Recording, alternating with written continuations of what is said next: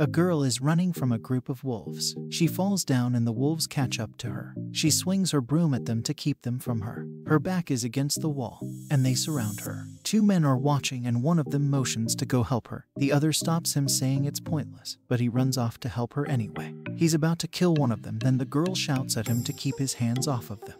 She flies over on her broom and cuts the wolf in two in front of him and chastises him for trying to steal her material. He's now stunlocked watching her flawlessly fight the wolves. Then the other adventurer tells him she's a monster. She's a weirdo who uses peculiar weapons. Even though she looks elegant on the outside, she is the troublemaker of the kingdom.